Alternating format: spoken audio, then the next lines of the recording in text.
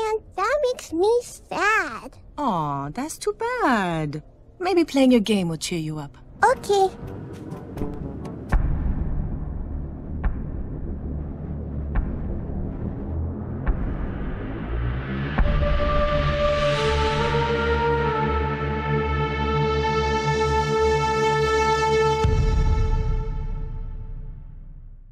Welcome, recruit.